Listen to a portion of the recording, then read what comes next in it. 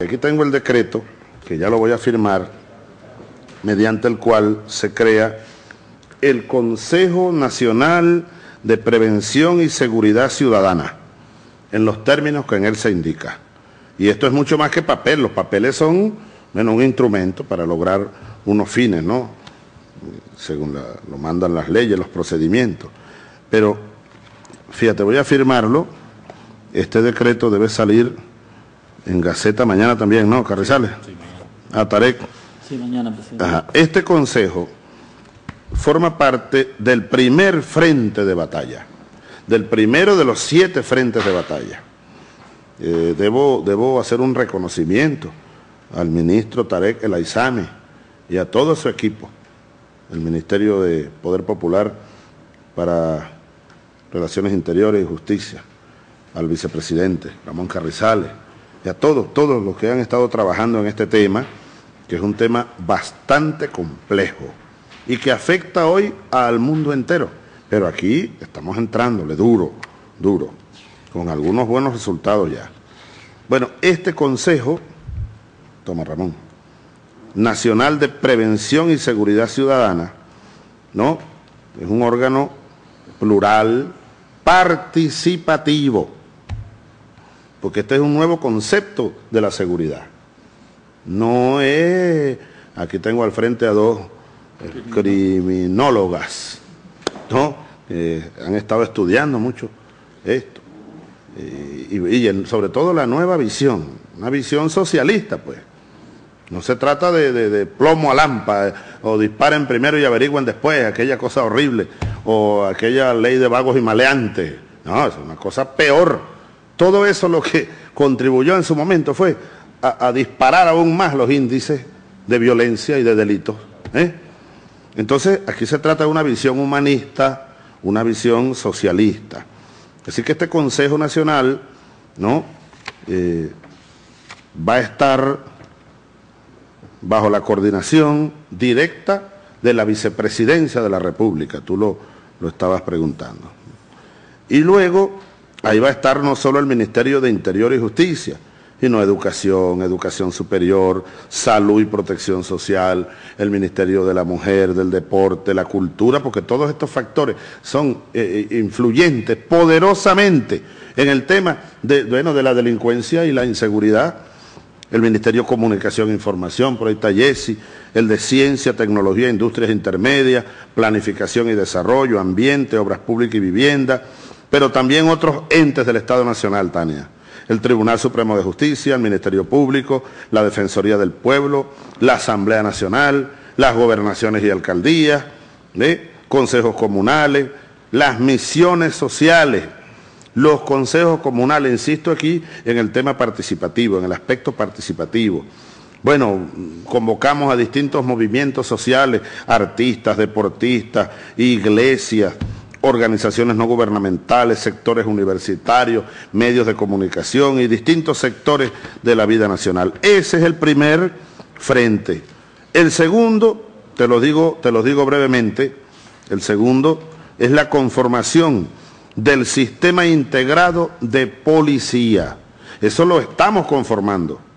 Ahora tenemos que eh, concluir, ¿cómo se llama?, la redondez del círculo.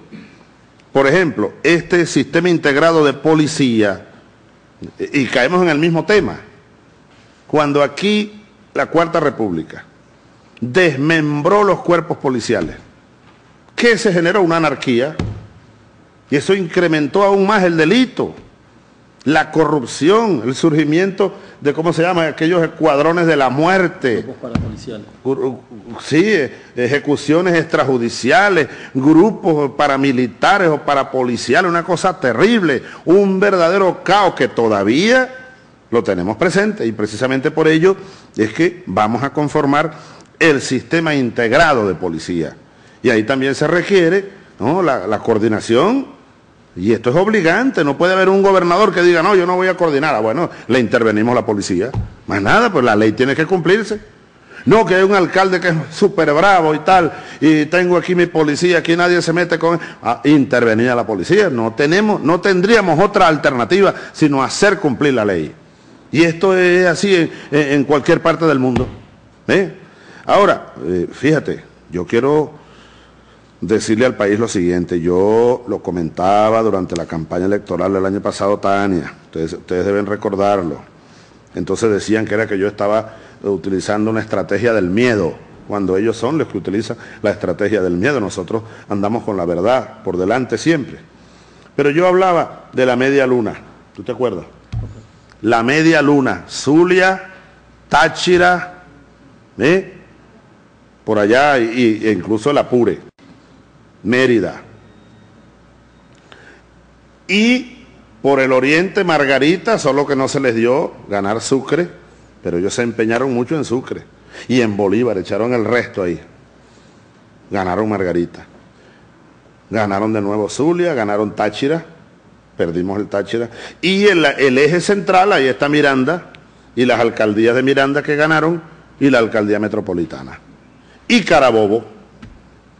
Ahora están tratando de crear un poder paralelo. No se los vamos a permitir, pero yo cumplo con denunciarlo.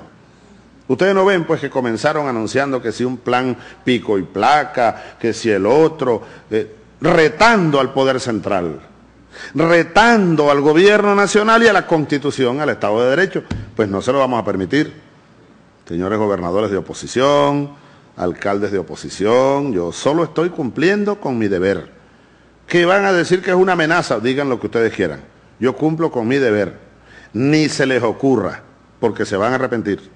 Estoy dispuesto a aplicar todo el peso del poder nacional para garantizar la integridad territorial y bueno y la, unidad nacional, que es fundamental para que Venezuela eh, sea Venezuela, para que la patria sea la patria. No vamos a permitir que fragmenten o fracturen eh, a nuestro país o lo dividan en pedazos. No vamos a tolerar el surgimiento de eh, caudillos o caudillitos regionales y macollas que van a ser como una república dentro de la república. La república es una sola, la bolivariana. ¿Eh? Y yo, como una vez se lo dije un gobernador, soy tan presidente de la república, aquí en este salón del Consejo de Ministros, como en la Plaza Bolívar de Maracaibo, o en la Plaza Altamira de Chacao. El presidente de Venezuela. Y la ley, más allá, se aplica y se debe aplicar por igual en todo el ámbito territorial de Venezuela.